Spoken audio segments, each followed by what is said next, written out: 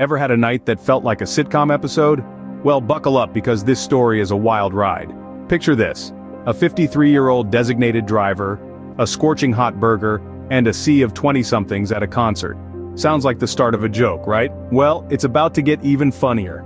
There I was, in the midst of the crowd, savoring a burger so hot it could melt the polar ice caps.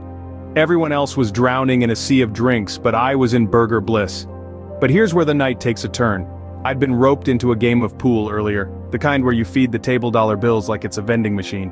Lost in the heavenly flavors of my burger, I completely forgot about the game. So, imagine my surprise when a woman approaches me asking about the balls. I was thinking, does she mean the pool balls? Turns out she did. The same ones I'd tossed onto the table earlier and promptly forgotten about. After confessing to my pool amnesia, I found myself swept up in the game again. Little did I know this would set the stage for the night's biggest plot twist. As the concert raged on, the woman drops this bombshell.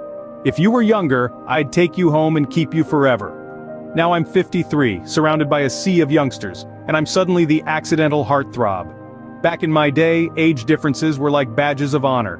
But in this world of burgers and pool balls, age seems to be just a number.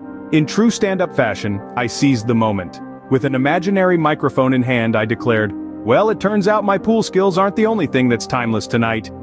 The crowd erupted in laughter, and I walked away with a head full of laughter, a belly full of memories, and the realization that life is the ultimate stand-up routine. Burgers, balls, and unintentional romance, who knew they'd make for such a comedy masterpiece? So, when life hands you burgers, play pool, and embrace the unexpected, comedy, like romance, has no age limit. And so, to all of you out there, don't shy away from sharing your funny stories or experiences. After all, life is full of unexpected twists and turns. And sometimes, it's these moments that make for the best stories. So, go ahead, share your comedic masterpiece with the world.